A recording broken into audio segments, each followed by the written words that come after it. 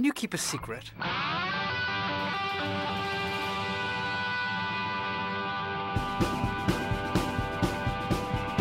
Changing hearts and minds. Changing. Changing. Changing. Changing. Changing. Changing. Changing. Changing. Hearts. Changing. Changing, hearts and Changing. minds. Changing Changing hearts and minds. Changing. Changing hearts hearts and and minds. minds. Changing Hearts hearts and minds. Changing hearts and minds. Changing Changing hearts and hearts and minds. Minds. Changing hearts and minds. Changing Changing. hearts and minds. Welcome to Change Your POV podcast. You're listening to Changing Hearts and Minds, a show about reviving the warrior spirit and remembering the past to improve our future. I'm your host, Jeff Adamick. Let's get this party started. Ladies and gentlemen, am I totally screwed or what? You're funny. You're funny. I want to discuss all this behavior. Let me out of here!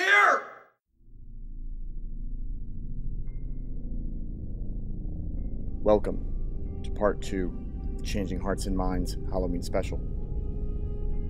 We like to reiterate that these episodes are not just fiction, but in fact do mention and detail true horrors and sensitive events that are not suitable for younger listeners. The fear of the dark is a primal fear we have had that goes back to the cavemen. Being out in the wilderness at night was dangerous, and we carry that fear and apprehension with us today. Our first guest is no stranger to changing hearts and minds. Andrew McDowell is my unofficial co host of our episodes we have on history. But today, he joins us to tell about his own experiences with the unknown things lurking in the dark out in the woods. And he also tells us about the Bridgewater Triangle, a scary and mysterious place. So uh, I spent a lot of time in the woods, like a lot of people who are, you know, hunters and, and fishermen. And um, I was out turkey hunting. This was probably about two years ago now, in the spring. Uh, and I, I have about 160 acre property that I have access to. And I was I was walking in, and you know, kind of just a normal morning in the dark. And then um, I started getting, you know, when when something's watching you or talking, you know, kind of in the room with you uh, you get kind of a feeling like you're not alone. And I was there were no other cars in the lot. I mean, I was I was by myself, and uh, I started getting that feeling and started kind of you know looking around with my my headlamp and my flashlight and kind of just trying to see what was up because you know there are coyotes and fish cat and, and all sorts of little creepy things that you know run around these woods.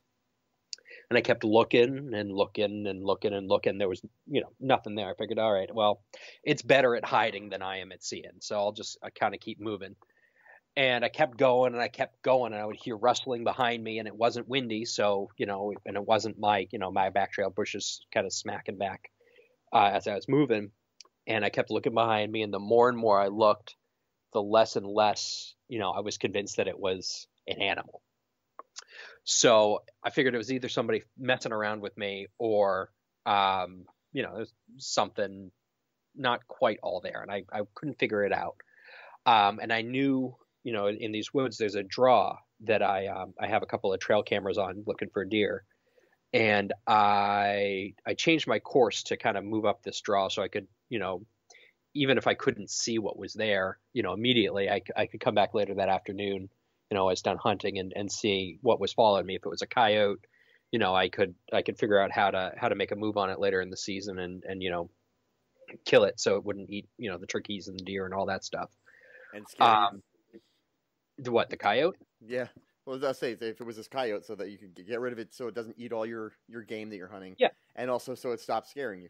Yeah, there's that too. Yeah, I mean, I, I'm walking through the woods with a 12 gauge shotgun and turkey load, so there's really not that much that I'm I'm actually going to be scared of. But um, you know, it it certainly started to creep me out. Yeah. I, And- I, I can understand that. Yeah, and you know, it started getting me a little bit paranoid. So I I move in, I move past my camera, and you know, I, I know the camera goes off. It makes just this tiniest, tiniest, tiniest little sound. And I move beyond it, you know, kind of go on my way. For whatever reason, you know, I, I kind of put it out of my mind, go set up, and proceeded not to see any turkeys for 12 straight hours, which is pretty much how turkey hunting goes for me. On my way back out, I decide to pull the camera, you know, card just to, you know, see what was what was there, and I pull it and I go back to my house and I sit down at my computer and I I pop the memory card in and I go through and it's okay, wind moving, wind moving, wind moving, deer, turkey, squirrel, squirrel, squirrel, squirrel, and then me, you know, and then it was you know timestamp matched up, and I go by it, and then I have my camera set on about a 30 second delay. You know, I, I move beyond it, and you know, I, I I come and go. 30 seconds later, the camera goes off, and there's nothing there. I mean, dead nothing there. No wind, nothing, because you can you can tell when the wind sets the camera off because all the bushes are moving. There's just nothing there Right. and that proceeded to creep me out and i actually ended up you know relocating that camera and i, I just i haven't gone up that draw uh, since then just because eh, get kind of start getting bad juju after after you have that experience you know i was going through the rest of the card and i kept noticing in the same same spot sometimes you see on camera it's just kind of like weird it looks like a like a snake flying through the air Yeah, like artifacts, like artifacts, Artifact. or stuff like that. Stuff like that. but I kept seeing the exact same artifact at the exact same time, and it, you know it would sometimes be the long snake thing, or it would sometimes just kind of be a, like a floating ball that kind of came and went. And that's when I saw those pretty regularly. That's when I, I decided I was going to move the camera and, and not go to that part of the property anymore. You, you said that you were seeing these things at the same exact time. Yep, every day at about um, about 3 a.m., which is right when I was I was walking through the woods to go turkey. Three a.m. Good lord, that is far too early to be awake. Yeah, you gotta you gotta beat them out of the trees, or in this case, get stalked by something. You know, Well, geez, Half a mile. looks like you got you beat him out of the grave, brother. That's that's what you did. Because God, that yeah, that's early in the morning. So you're saying that this stuff that this stuff's creeped you out enough to where you don't even go by that that, that area anymore, huh? I definitely don't go by at night. Sometimes you have to go by it to, Yeah. you know, get where you're going, but I, I skirt it as quickly as I can. Wow. Well, that's uh, that, that is creepy, brother. That's creepy. Yeah. And I'll tell you what, man, really fits into uh, what you chose for your uh, your actual true life mystery or creepy thing, uh, the Bridgewater Triangle. And now, now let me ask you before we even get into what the Bridgewater Triangle is: Is this thing in the Bridgewater Triangle? No, it is not. Okay. God, This that would have been uh, perfect. That would have been That, perfect. uh, that would have been perfect. but You know uh, what? Let's edit that out. Yes, it's in the heart of the Bridgewater no, no, Triangle. no, no, no, no, no, no, no. Don't do that because if it was in the heart of the Bridgewater Triangle, it would have been much more than you just having some some creepy little you know noises and creepiness following you around. Because Yeah, Bridgewater actually- Triangle does not sound like it's uh, got a lot of good stuff going on in it. No, no, absolutely not. Um, so I don't know, just kind of for, for people to understand, um, Massachusetts, about 30 miles south of the city is a called town called Bridgewater. It's, you know, it's, it's home to what, what I affectionately call swamp Yankees. They're, you know, they're woodsy people, uh, down there in that neck of the woods. Woodsy people. Uh, woodsy people. Yeah, Okay. that's, I think I'm gonna politely call them woodsy people. It's it's down kind of halfway between Boston and, and Cape Cod if you're if you're looking on a map. Okay. And there's actually about a, a 200 square mile triangle that has become known as the Bridgewater Triangle. Uh, it's not like the it's not like a, a vortex like the the Bermuda Triangle is officially, you know, in in, in the paranormal world, quote unquote. But um, there's a ton of just weird shit that goes down there. Uh, I actually have some personal stories that I'll, I'll relate in a minute. My wife actually grew up right in smack dab in the middle of it, and she she has some stuff that creeped her out as a kid that kind of gives me goosebumps, you know, Oh yeah. today. I mean, there's Um, just just when I when I was doing the research for for what was in the Bridgewater Triangle.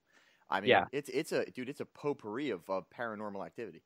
Yep. There's Yeah, really no, so- there's really nothing that we could talk about that wouldn't fall into having happened in the Bridgewater Triangle. Yes, exactly. I mean, it, it's it's literally everything from dudes as recently as the the 1990s have seen what they think are Bigfoot, Yeah. which is is Bigfoot. weird in this. There's this huge 5,000 um, acre swamp called the Hockomock Swamp, which in the uh, the I think it's uh, who which is the tribe that lives down there. I'm running back through it in my head. Who lives down in the Bridgewater Triangle? Either way, Are you talking about the the Wa- the Wampanoag people? the Wampanoag. Yes, Yeah, that's Wamp- it. The. Wampanoag. Thank you. I'm sorry. I can't pronounce the words, but I can I can remember them. Yep, the Wampanoag. Um, so they used to hunt there, uh, but it, they called it the the place where spirits roam, or or something to that effect. It was, um, Ha, ha, yeah, talk about place where spirit where spirits dwell. and it's huge. I mean, it's Yeah. huge, and it's it's rich in game and and trapping and fishing and all of that stuff. Uh, but it's creepy as hell. I mean, people have seen Bigfoot there. They've seen uh, what they call thunderbirds. So they're like giant pterodactyls. Yeah, Uh, with- all all that uh all that Native American um lore and all that stuff. Yep, and which is actually part of one of the other things that that kind of creeps people out about it is during King Philip's War, which was a, a war between the English settlers and the Wampanoags. Uh, that's one of the places that King Philip would hide. Uh, he was he was one of the the Wampanoag chiefs, uh, and actually one of the last places he uh, camped was in the town of Norton, where my uh, before he was killed was in Norton, which is where my wife grew up and you know it, it they've uh, just you know kind of creepy curses uh you know bad things happen to to white people who go in there. Uh, the you know the, local legends that talk about uh, pukwudgies which are little um they're almost like fuzzy leprechauns. You can think about it that way.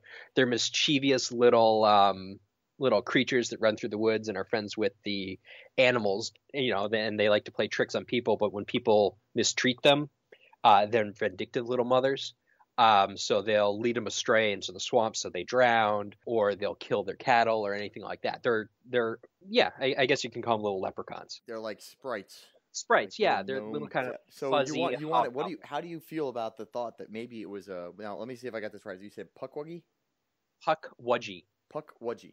How do you feel about the thought that maybe that one time when you were out in the woods, you were being little tricks being played upon you by a pukwudgie? Man, that would be cool. That, that would be cool. It sounds cool when you say it like that, until you Yeah. find out what these things actually do as far as historically. You know, Yeah, exactly. that's exactly. like I had no problem with David the gnome following me around until I realized David the gnome wants to skin me alive and hang me from a tree and use me as a warning for other white folk not to stay out the woods. yeah, it's like Ewoks, right? They're cute and fuzzy until you know, until you're until you're being cooked for uh, for a dinner to honor C3PO as your new god. Yeah, exactly, exactly. Um, and you know, my wife has some stories. She had um in her house growing up this being, I guess you could call it. She says called, I think it was Harold, and um, you know, it was nothing necessarily malicious, but he would, you know, just come and kind of mess with you. You know, he'd move stuff around up in their attic, and there were there were 100% no raccoons up there messing around, no squirrels, nothing. I mean, it was it was sealed tight, and they made sure of it. And both my my wife and her her sister have both reported kind of the same creepy stuff going on.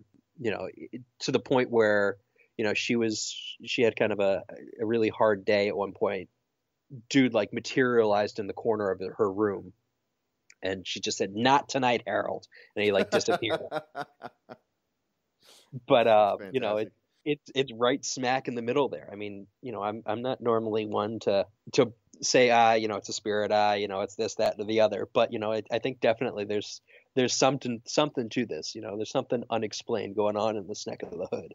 Oh yeah, I mean if you if you ever want to find out if uh, and people we recommend going looking up uh, Bridgewater Triangle and just seeing this stuff. It's got a potpourri. It's a potpourri for everything. Yep. If you're into Bigfoot, if you're into UFOs, if you're into ghosts, if you're into little creatures, if you're into obviously you know thunderbirds, pterodactyls, curses, anything, it's all inside the Bridgewater Triangle. And Yep. the fact that Andrew's wife has grew up there.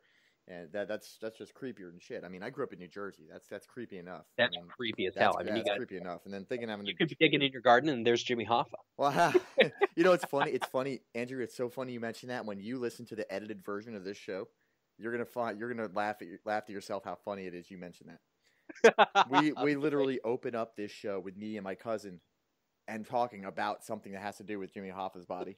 It's so it's really funny that you mentioned that. It's, it. it's gonna be good stuff.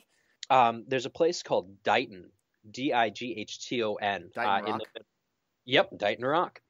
Uh, it's this huge um, rock that has all these carvings on it, and they're they're inconsistent with anything that the the Wampanoag or, or other Indians uh, from this area. And there's no real kind of the the carvings aren't you know like I said kind of traditional or or representative of what they would do, which opens this kind of huge mystery. And one of the theories. I don't. This is you know from the 1700s. Is ancient Phoenicians. So these are Mediterranean people uh, who were who, who were contemporaneous with like the the ancient Greeks Yeah. actually made it to New England, engraved the stone with images from their like cosmology, uh, and the kind of the the thing with the cosmology is everything past, present, and future happens at the same time. It's kind of this weird kind of holistic metaphysical whatever. It's kind of like kind of like the uh, aliens in the movie The Arrival. Yep, exactly. Um, and there's this rock, and nobody can really explain what the patterns carved on it are. There's another one uh, theory about this, and this one's definitely a little bit more creepy. Uh, is obviously everybody knows the Portuguese were explorers. They, you know, they they explored the New World, they explored the Caribbean, they explored Africa. They did it all. Um, one of the the the theories, and I, I think that this one's maybe a little bit more far out, is that the stone was the last recorded record of a uh, a Portuguese expedition uh, to the area, which uh, met with a violent confrontation uh, with the later the the local natives, um, and that the the carving was a record of the encounter and the you know the the ensuing conflict uh, by the last few survivors before they were hunted down.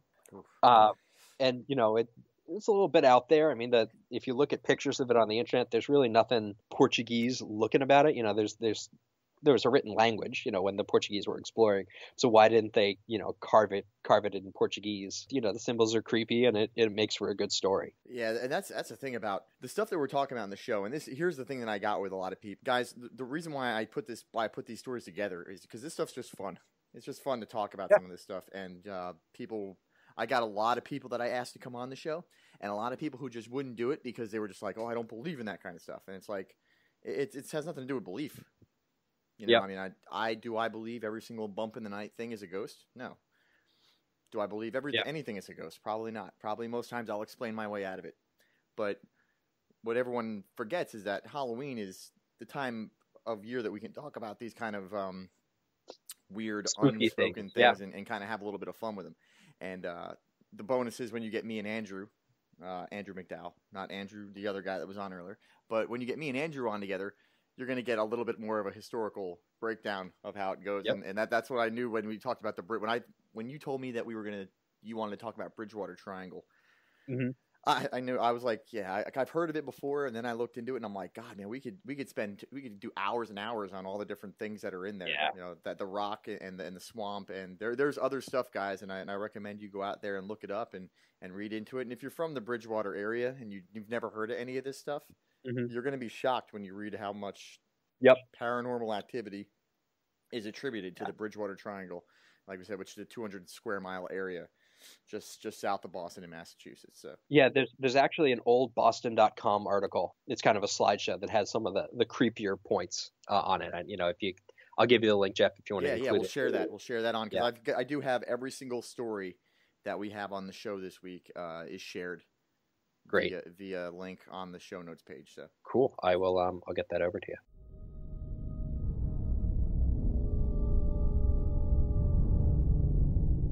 We are surrounded by things we cannot explain, and monsters who lurk in places we cannot see. Duane France, host of Headspace and Timing and friend of Changing Hearts and Minds, is not one to be known to make up stories. He joined me and we discuss his and my own personal stories, and then we both give examples of real monsters who no one saw coming.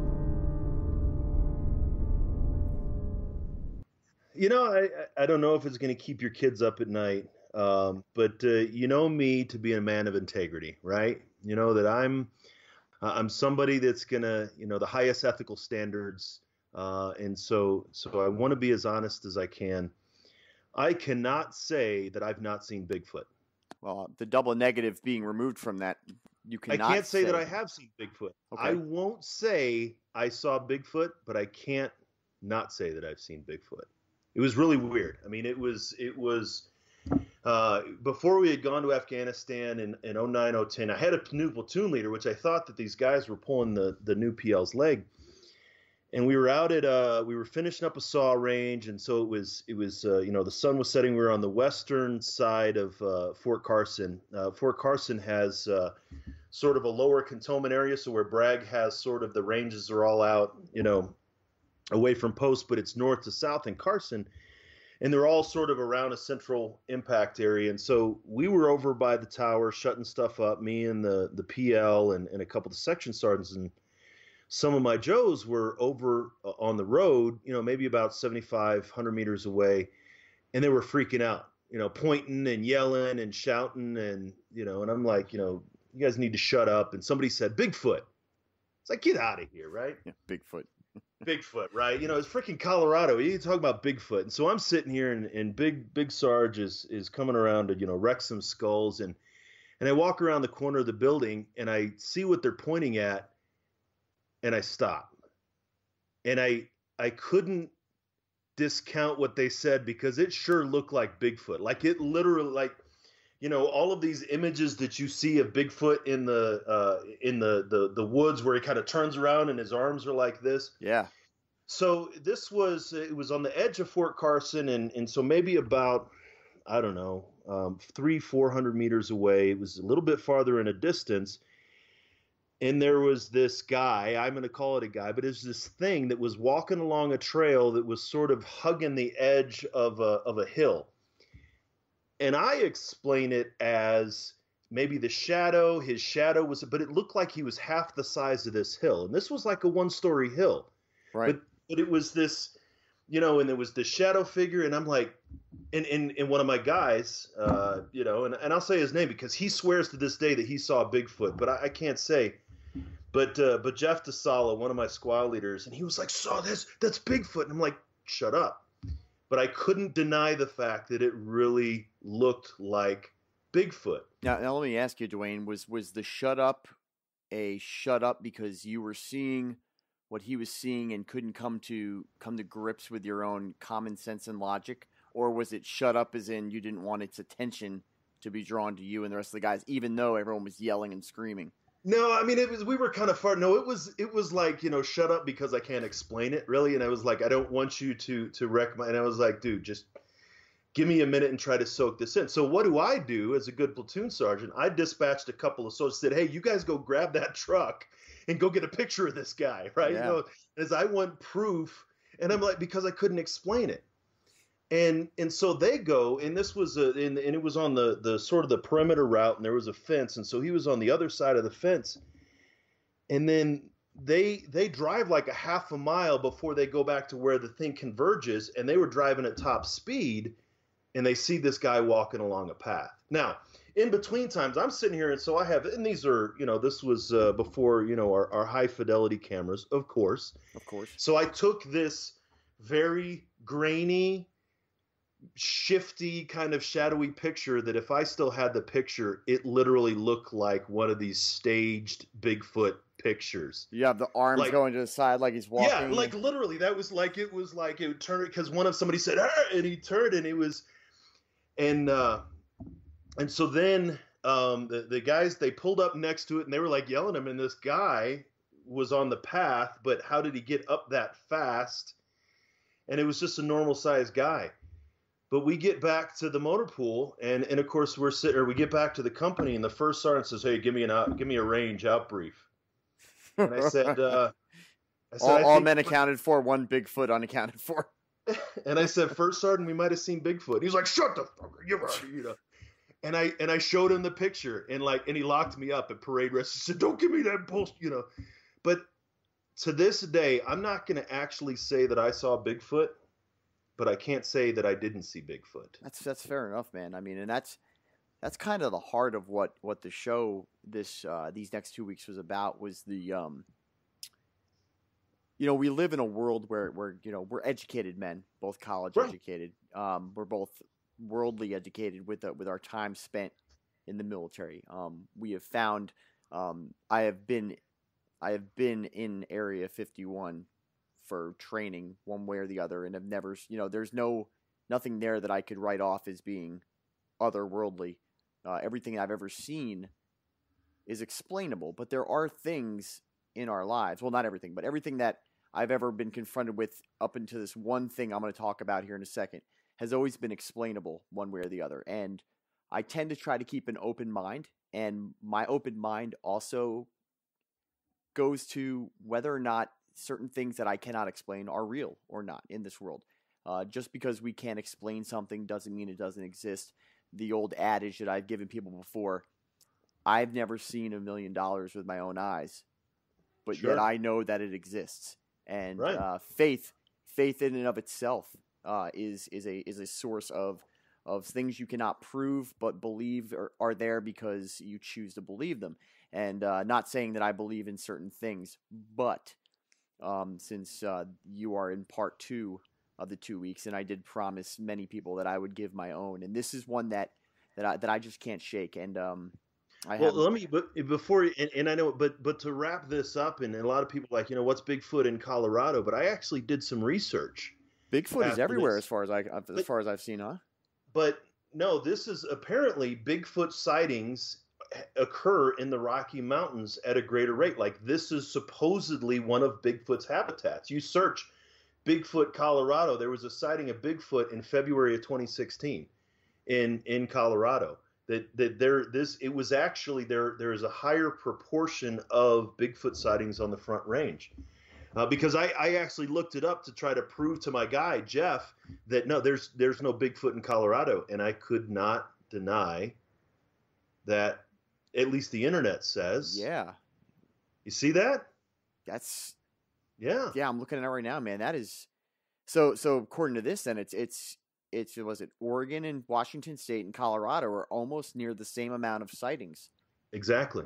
Um, and that you know it, it makes sense because Colorado is such a it's not not mysterious, but it is still one of the few places in the United States where, in the United States where you have vast amounts of of maybe not un uninvestigated, but un like people don't live in a lot of the Right. the outdoor areas. And, and what we say in Colorado is along the Front Range. And if you've not been to Colorado, the Rocky Mountains start about halfway through the state, and so there's it's where the plains and the Rockies meet. And so really, it's it's almost an edge of civilization. Uh, and of course, we have a lot of uh, you know wildfires and things when people live in in, in wild lands. Um, but about 80% of the population in Colorado lives along the Front Range. Um, and so the the large vast majority of the state are either uninhabited plains or un- uninhabited mountains. Um, and so after I started researching it, it turns out that Colorado is one of the higher rates of Bigfoot sightings. Um, and uh, and I've not told that story publicly until now. So that's yours. Well, no, it's, it's still yours, but I appreciate you telling me because uh, it is it is something that I think is very uh, very in, very interesting.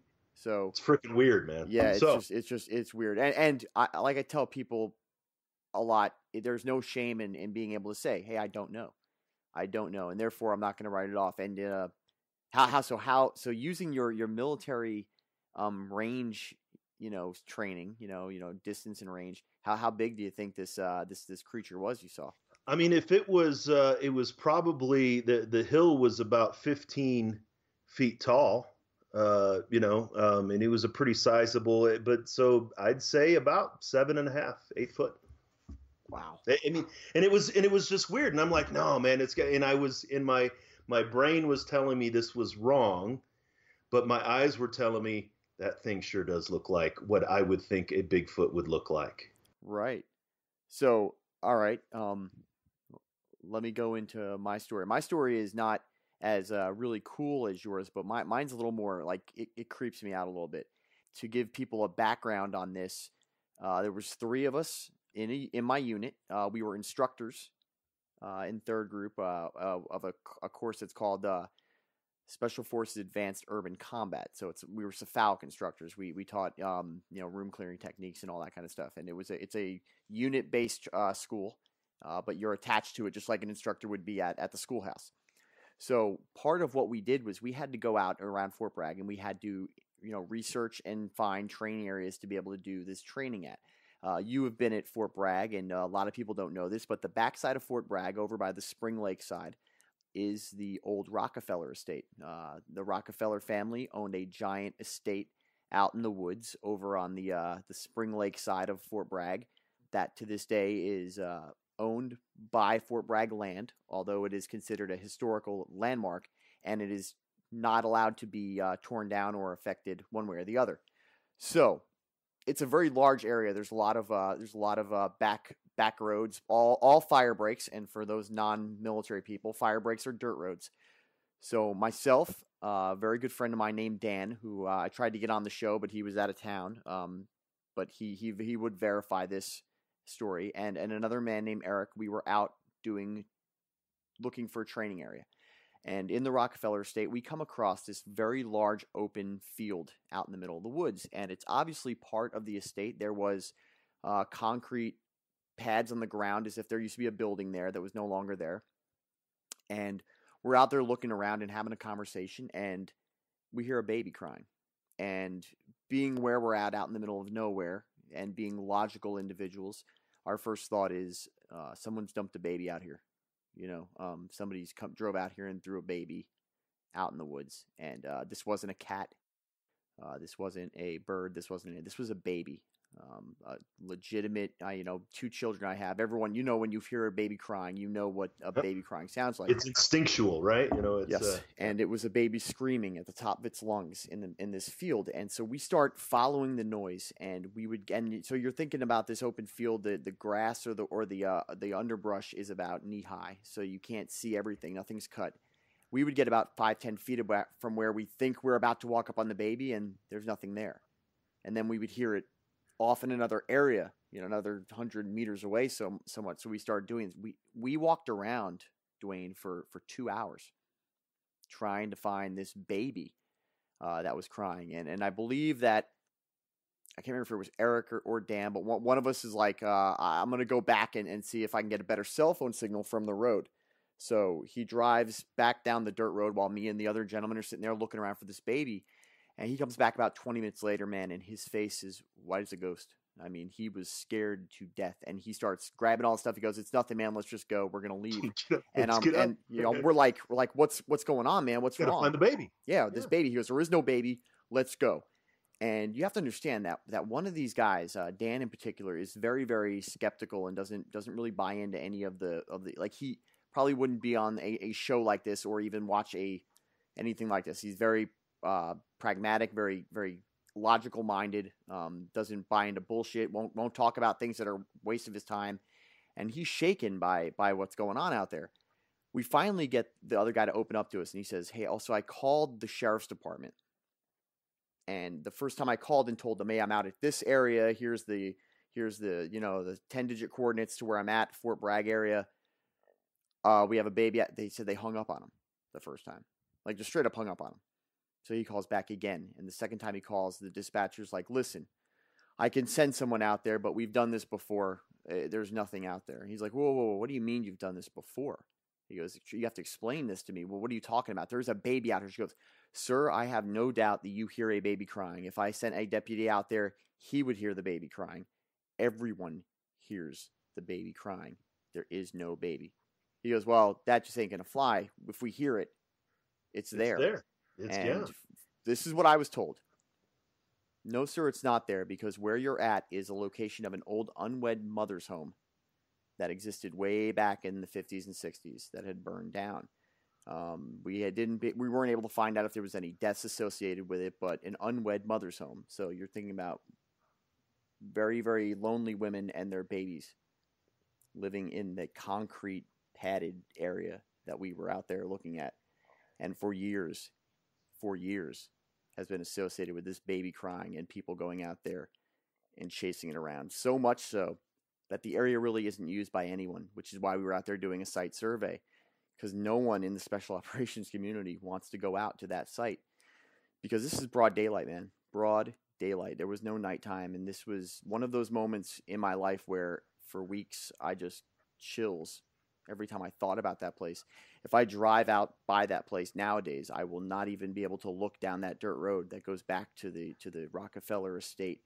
The area of the Rockefeller estate where this unwed mother's home was and the crying baby that we spent 3 hours that three green berets spent 3 hours chasing this ghost sound, this this disembodied screams of some baby that had uh, somehow attached itself in either and that that's what got us was there was no there was no knowledge of what the area was Right. beforehand to lead us to any kind of um, suggestion or or misinterpretation of what we heard.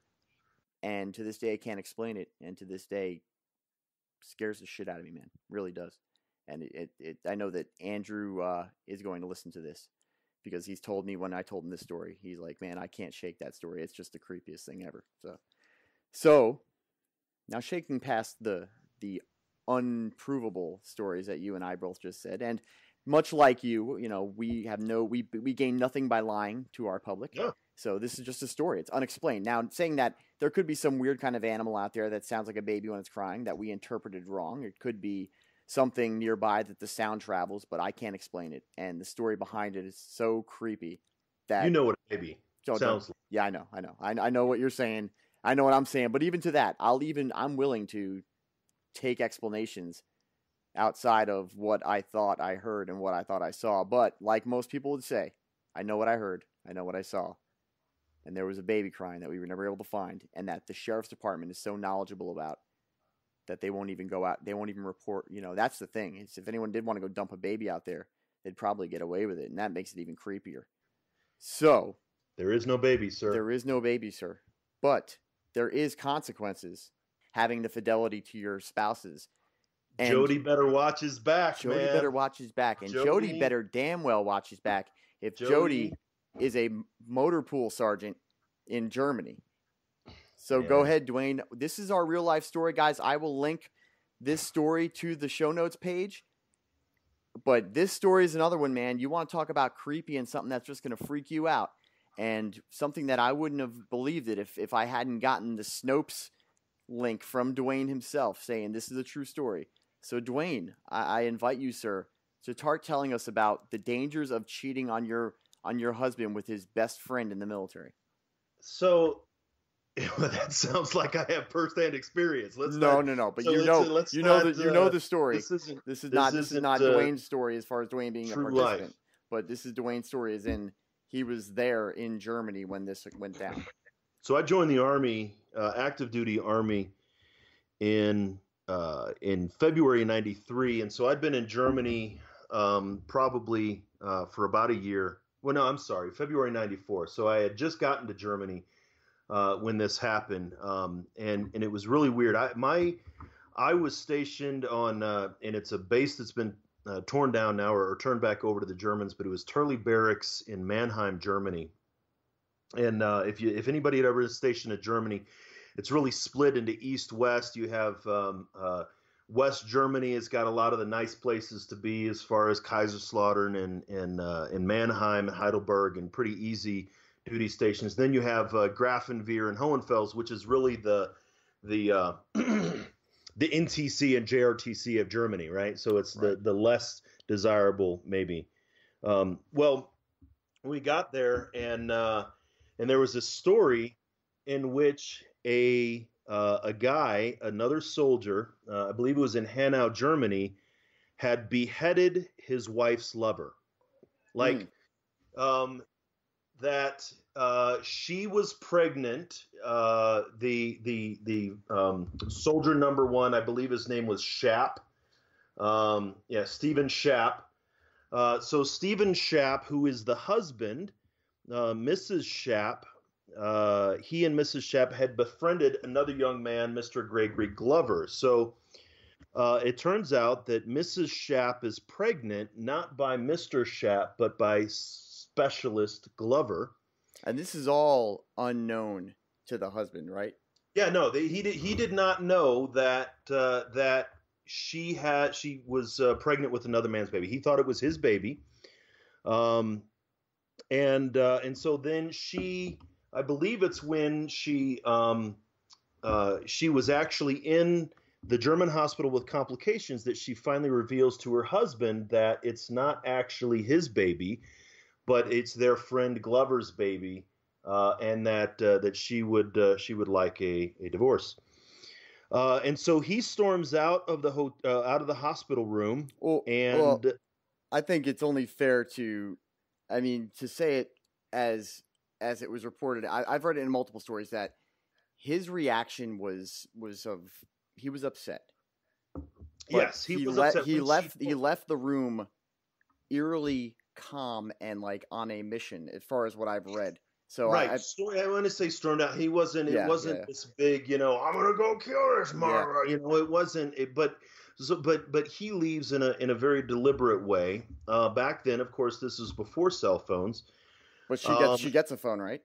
Right, she does. So she the hospital phone, and so now she's on the phone with her her boyfriend, Mr. Glover, Sergeant Specialist Glover, And so um, Glover is on a phone booth next to the DFAC uh, there in in Hanau, I believe it was. But right, he was in right, the, right, the- right along the airfield, I think it said, but Yeah. like right next to the DFAC. Yep. So he was in the phone booth talking to her, saying, "Well, what did you did you tell him? And yeah, how did it go?" And like, and so while he is on the phone with her, she hears the uh, the the sort of the phone call get cut short, and so Shap attacks Glover in the phone booth, pulls him out, and starts hacking his head off Mm. with a machete.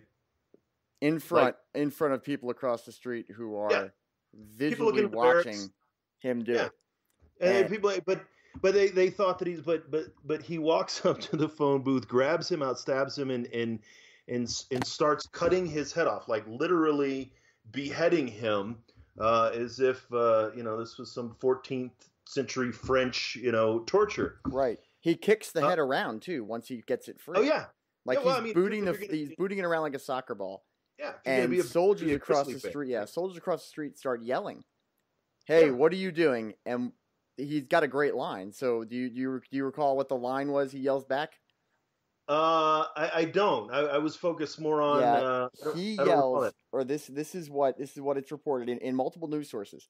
He yells, "This is what happens when you ch- when you when you fuck Yeah. another man's wife," or so, this is what the- yeah this is what you get for adultery so That's yeah, what it was, just you know yeah so uh um the uh what a uh, public service announcement just to let you know just in case you were wondering what happens This if, is if what happens. adultery happened this is it This is right what so happens. this is just a this is what you get now, yeah. so adultery the wife on the phone, as you say, gets cut off short, but the last words she hears on the phone before it gets cut off short is "Your husband's here," and that was it. Then the struggle and the the disconnect. So Sergeant Sergeant uh, Sergeant Joan of Arc. Um, oh no no, let me rephrase that. What would be better? Uh, Sergeant lost his head.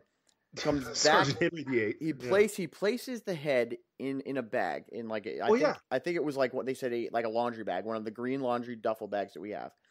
He goes back to the hospital with it. Now, wife who is nine months pregnant, uh, suffering from uh, from blood pressure issues, sitting on the bed. In walks Sergeant Shap, and he deliberately and with seemingly no emotion dumps her lover's head into her lap and then attempts to get her to kiss him goodbye. Yeah. And I laugh, but, but good I laugh because oh my god. I mean, he tr- he picks the head up and says, "Kier, kiss him goodbye." Yeah. And He- says look glover's here he'll sleep with you every night now only you won't sleep because all you'll see is this and he dumps the, the, head in her bloody lap, yeah. head of the father of your baby. And he sits down in the chair while she's freaking out. And from what the accounts I've read is that even the doctors and nurses were just beyond the fact that there's a head in this woman's lap and he's covered in blood and he's sitting there, but his calm and so deliberate, just like yeah, well, there's his head. You know, I've Yeah. killed him, and he just tells the story, and it's my God, you couldn't you couldn't script stuff like that. I mean, that's that's straight out of uh, you know the Saturday Night Fright Night movies. You know, he just walks in and dumps the head of her lover in her lap. And yes, apparently, according to the storyline, uh, they had drifted apart. Um, his, his marriage wasn't in the best shape, but he had never been violent before. He had never had any of these.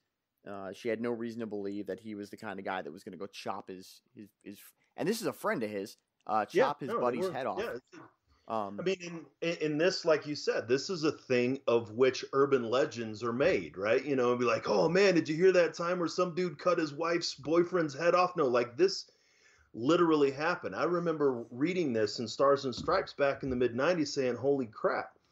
Where where we were on Turley Barracks, there was like a phone booth right next to our DFAC, Mm. and like I would walk by, and it was right across in the barracks, and I'm like, man, it's really weird. Like when we for because you know, in in everything is like, did it happen here? I mean, it was just it was weird. And every time, and I still, even now, I, I think about our phone booth right next to the DFAC on Turley Barracks, right outside, you know, the our, our headquarters building uh, barracks were sitting there, and it was just like it was it was weird, and it was literally true. It 100% legitimately happened. The guy I think is still sitting in Leavenworth. Oh, I'm sure he is. To close out you and I's conversation, I also went on my own little uh, search for a place on Fort Bragg when I first got stationed here, and my job in at, at when I retired uh, also brings back memories of this. And there's a lot of people out there that have watched the made-for-TV movie Fatal Vision back in the early early uh, 80s. I recommend everyone go out there and look up the name Captain Jeffrey MacDonald. And I'm watching Duane right now. He's typing the name in. And while you're typing it in, I will go ahead and give everyone a little bit of background. So, Captain Jeffrey MacDonald was a very uh, good looking, intelligent, well educated man. He was the homecoming king. He was married to his high school sweetheart. He had gone to Princeton. He had become a trauma medicine doctor. And then he had joined the Army. And in 1970, he was the group, the Special Forces Green Beret group surgeon on Fort Bragg. And those guys are stable, man. You know, they're, They're, they're, very, got- yeah, very yeah. stable, very well well known, are very well liked. Very, you know, my all my surgeons, and you know, back then having the Green Beret, uh, much like today, was a was a sign of you know this guy is a he is the best of the best. The to be- epitome. yeah. yeah, and to be the surgeon for the group um, is not something that is easy for people to achieve. I remember ours, Doc Price. He was a great guy. Yes. And one night, the Fort Bragg operator gets a phone call from the residents on Fort Bragg of Dr. Jeffrey MacDonald. And all he can say is, People are dying. Hurry. And here's what happens they, they arrive at Jeffrey MacDonald's house to find Jeffrey MacDonald holding his wife. Jeffrey MacDonald has stab wounds and a punctured lung.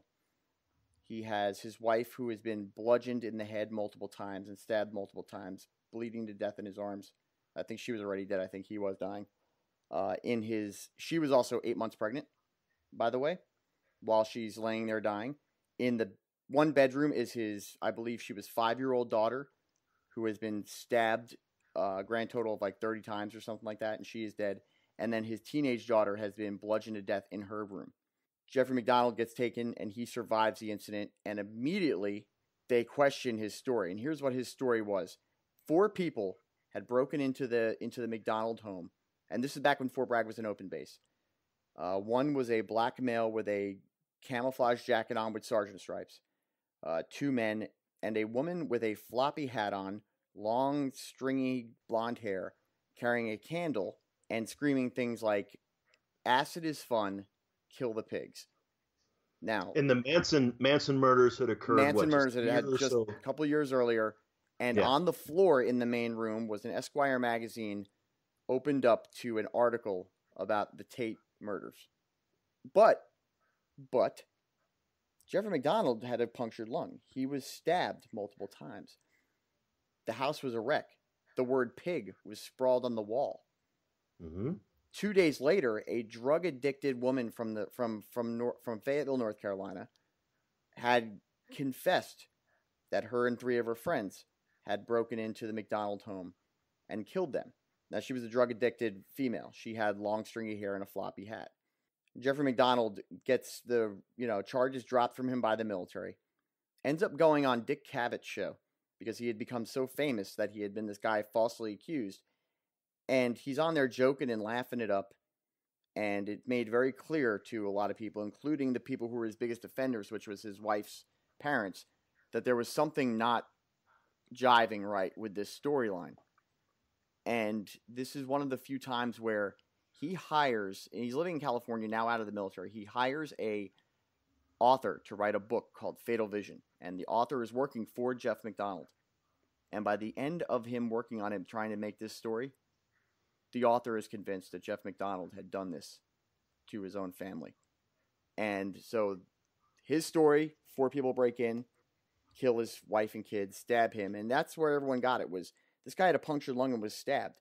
What people failed to realize was this man was the group surgeon. He, He knew, knew where to exactly where to cut or tag himself to make it look like he had lost his mind, you know, that he had been attacked and not to uh, and and to survive the attack. He also was on amphetamines at the time to try to lose weight and had been up for 24 hours. He had a unfortunately was was known to be cheating on his wife, and the forensic evidence at the scene was able to be connected because for the first time in the history of ever, all four victims, him and his children and his wife, all had different blood types. So even despite not having the kind of DNA evidence that they had back then, they were able to put together, because of the blood, the entire story of what may have happened in the home, because there was blood of his mixed in with blood of theirs, and if he was attacked in the living room, as he claimed, because he fell asleep on the couch, and stabbed there, he would have not had his blood mixed in with their blood. And the creepiest part about this entire story is, and uh, you know, I'll, I'll link to it, and you guys can read up on it. But he maybe had had a rage and lost his mind, killing his wife and his older daughter. But this man had walked into his little five-year-old daughter's room with a knife and started to stab and kill his own little girl. And she had defensive wounds on her hands, which means at some point she had woken up. She had pieces of his clothing underneath her fingernails, which means she had gripped and clawed at her at her at her dad. And this monster, I mean monster, had just completely mutilated his own family and then was on Dick Cavett show not three months later, laughing and joking like a Yeah. maniac. And between that, I mean, there's there's certain things that, um, and I don't excuse murder. I don't at all. But can I sit there in judgment of a man whose wife tells him that she's been cheating on him, and oh by the way, your baby is your friend's baby? Can I can I judge him? I I sh- I should be able to say he's wrong, and he is. But I He find is. I find it hard to make him a monster. I, I think that Yeah, emotion. I think emotionally, Divorce is an option, though. Beheading may not be an option, but divorce is always an option. yes, you know? yes. That's I like I said, I'm not excusing the act, uh, but it, it, taking it a little bit far when you're playing uh, playing the hockey with the uh, with the head there. Uh, when you I'm when you want, he isn't he is in Europe. They're big fans of soccer. It's a good bit. I mean- no, it, he was maybe he was practicing, but but there were certain times where if enough was enough, he could have stopped. But then dumping the yeah, it takes a certain individual, and I'm not I'm not analyzing from afar of of either Dr. MacDonald or Sergeant Schapp, but it does take a certain individual to lose it to the point where they do something horrendous like well, that. I, I'm I am because I am who I am. I am willing to go out on a limb and say that I find Jeffrey MacDonald so much more abhorrent than the other man because he he paced according to the to the police. He paced his kitchen deciding what to do about the last victim, his own little five year old girl, and then went in there and did what he did while she apparently had woken up and was trying to fight off fight off her father. I find him just absolutely horrible. I find a man who who maybe has a break with reality over some kind of a passion type based where he loses it and just all of his activity, Shap's activity as far as staying so calm and being so so deliberate and so unaffected. If if that's not whatever temporary insanity is, then I don't know what is. Where MacDonald just seems like deliberate. so so deliberate and monstrous, and maybe the amphetamines and the 24 hours of not sleeping because he was on this amphetamines to lose weight because we all know that that that, that just shows us a level of uh, a level of pride. You know, I got to lose weight so I look good because blah, blah. he had all kinds of things going against him as far as him being a monster and being a group guy and knowing that in group in special forces group lore, Jeffrey MacDonald's up there with a lot of other guys, but he has no redeeming qualities as far as I'm concerned. And thank God that even though the military dropped the charges and he was found uh, not guilty or or you know was acquitted of the murder charges in a military court, they were able to put him into a civilian federal court by the rules that we have. And uh, much like the this the the man in the 80s who had killed the three people on Fort Bragg, he was able to be brought back and retried, placed in jail, and to this day claims he didn't do it. Um, claims that this woman and the and uh, her three accomplices, who by the way, one of them couldn't have been there because he was in jail at the time of the murders. So that just throw you know she was a drug addict who was obviously not playing with a full deck of cards to begin with.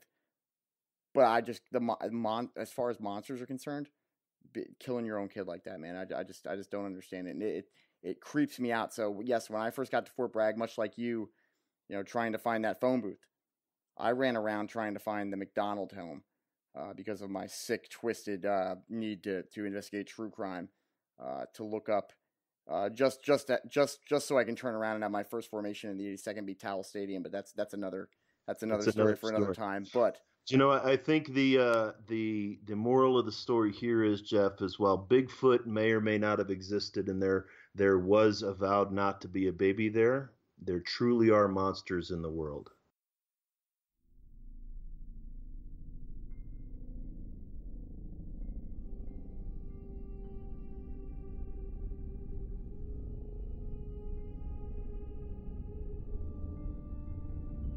Ginger Peterman is a veteran.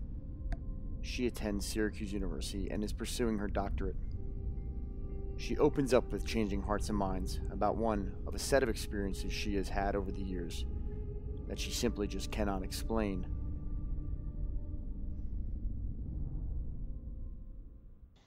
I've never really kind of struggled with depression in my life, but there were three points in my life where I was just crying um, and just had this deep sense of mm,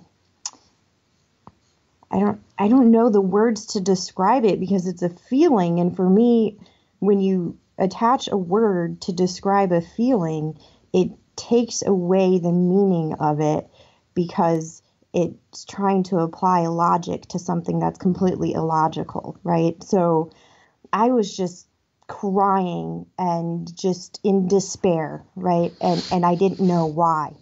Well, you're saying so. So when you say you didn't know why, you're saying that this was just these moments where you're you emotionally just kind of lost control, but had no no cause or effect for it. Yeah. Okay. Yeah, I like I didn't know why. And I'll get in I'll get in I'll get into it now. I I just wanted to start off by saying that I'm not the type of person that gets depressed or cries easily. Like I never cry. Right. I, I don't. Like maybe once a year, once every couple years I'll cry. Um, but I was like Everyone gets a good needs a good cry every couple of years. Is that what you're saying? yeah, I, I'm just saying this is this is a supernatural event for me. Okay. Okay. All right. Fair enough. Fair enough. yeah so i was um i was about 11 years old the first time i was in a tent um we were going to camp out it was me and my sister and this other guy friend um and my sister was outside of the tent at the moment and i just like it, it just came over me and i just cried and cried i couldn't stop for about 30 minutes i was inconsolable and this guy was like uh, you know, trying to help me figure this out, like cognitively, like we, we, we were thinking about it and I was just, I couldn't, I couldn't explain it. I had no idea what was wrong.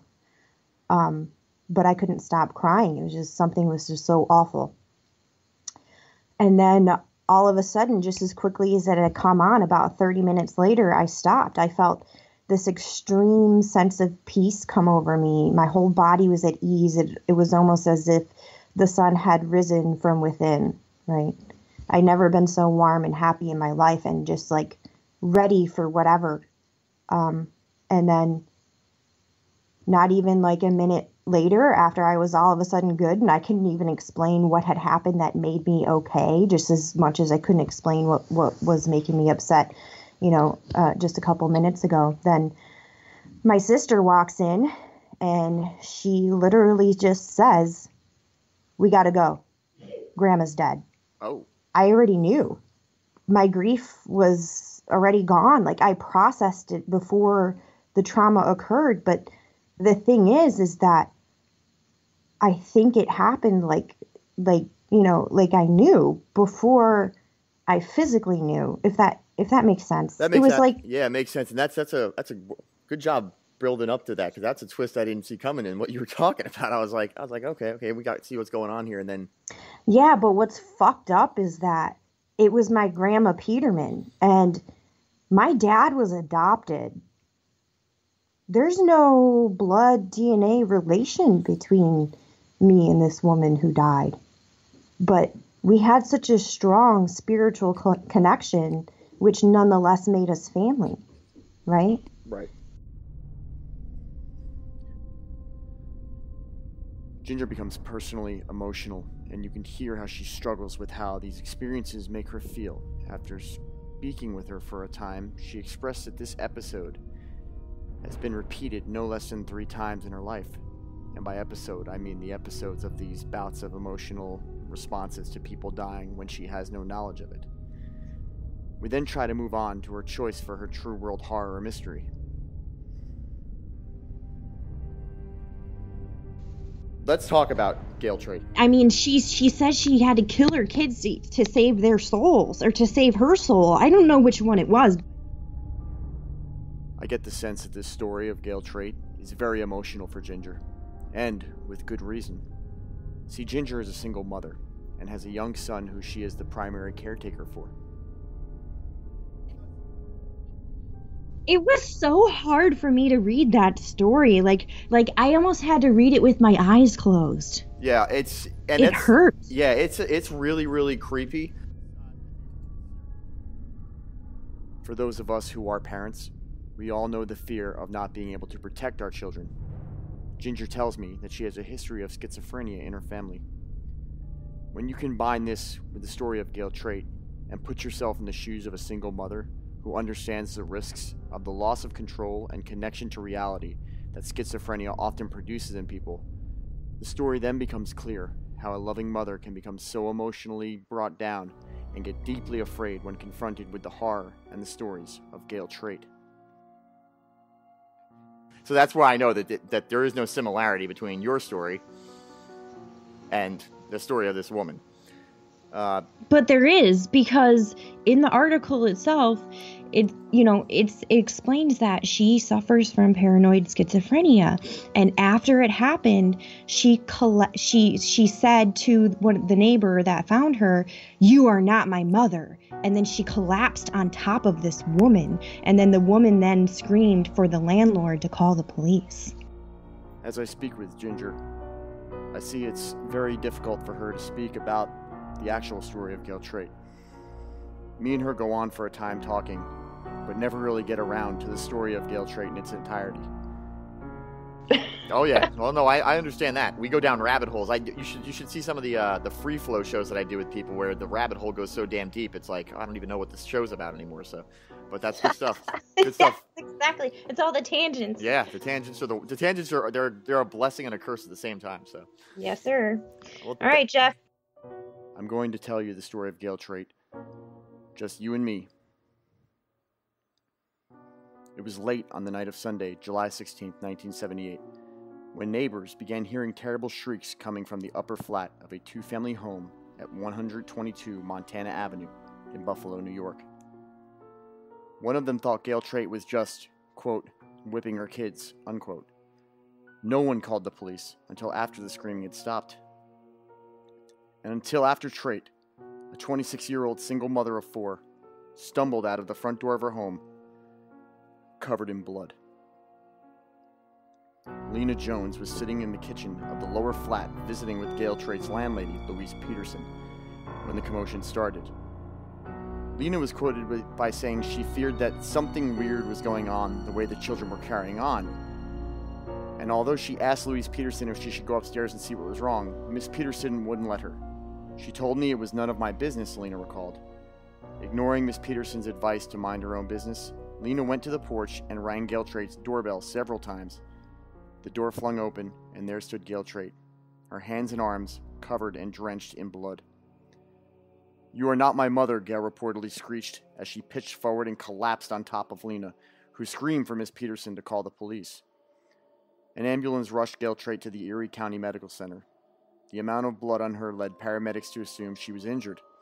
That blood, however, had not come from the wounds on Gale Trait. The source of the blood was found upstairs in the flat. The mangled bodies of Trait's four children were, in the words of one veteran homicide detective, the worst thing I have ever seen. In a scene more akin to a horror movie than real life, police found the bodies of Gale Trait's daughters, Amina, 6, Inez, 4, washed in blood on the living room floor. Both had been stabbed multiple times in their chests. The couch was saturated with blood. The television was on. It appeared that the two little girls had been watching TV when they were attacked. Even more gruesome was the sight police found in the kitchen. The oldest daughter, Kylia, 9, lay on the floor next to the body of her brother, Demario, who was only two years of age.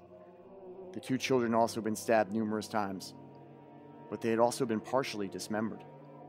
The medical examiner would later determine that Kylia had 63 slash and stab wounds and had died of massive hemorrhaging. Baby Demario's right leg had been hacked off at the hip, and his right hands had been cut off at the wrists. His eyes had been actually gouged out of his head. The severed parts sat on the kitchen table next to an open anatomy book that was smeared with blood. A bowl of blood that was also found on the kitchen table, along with a plastic container, contained Demario's little eyes. The murder weapon was also found a 13 inch butcher knife and a 7 inch paring knife. After washing off the blood, Gale Trait, hospital personnel found that her only injuries were minor cuts to her hands. Homicide detectives immediately brought her in for questioning while officers spoke with her neighbors, friends, and family. The whisperings about voodoo cropped up immediately. Police were told that Gale Trait practiced voodoo and black magic, and that Gale believed she was under a voodoo curse. As for what had happened that night, neighbors reported they had heard Gale repeatedly yelling, Tell me I'm your mother, as the children screamed. The apartment where the incident occurred belonged to Gale's mother, Dorothy Williams, who was not home at the time. Gale had been separated from her husband for over a year and had just moved herself and the children into the mom's apartment on Saturday night, a little more than 24 hours before they were killed. At police headquarters, Gale kept cops guessing with her voodoo ramblings. As veteran detective John Regan recalled, detectives were skeptical, and when Trait responded with gibberish to a request that she enter a holding cell, Detective John Ludaka had, had enough of her and told her, I'll give you five seconds to get in that cell. Gale smiled at them and calmly complied. About half an hour later, she came out and gave a statement, Detective Regan said. In her videotaped confession, a common cool Gale Trait stated, You would probably say that this was murder, but it wasn't murder to me, she expressed. She explained that she had done, done it to save their children's souls. They weren't my children until I killed them, she said. And she continued, After I stabbed them, they confessed they were my children. After I did it, I told them to say I was their mother. She denied being angry with the children and stated that she loved them, but they had to tell me they were my own kids. In court later that morning, Gale stood mute and appeared to be in a bit of a daze to Judge Joseph S. Mattina, who postponed her arraignment pending a psychiatric evaluation. Meanwhile, investigators were uncovering possible motives of a more mundane nature than voodoo. Gale Trait had voluntarily placed her children into foster care on May 17th, but they had been returned to her at her request on July 7th. Gale had told people she put the kids there in order to further, their, further her own education. She was a student at Erie Community College and had told friends and family she wanted to be a nurse.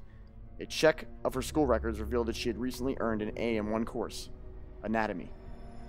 According to her estranged husband, Gale's family practiced voodoo and black magic, though Gale did not. Charles Trait told investigators that he had left his wife because she was, quote unquote, popping pills, though Gale had told them that she planned to study nursing and eventually move to Atlanta with the children.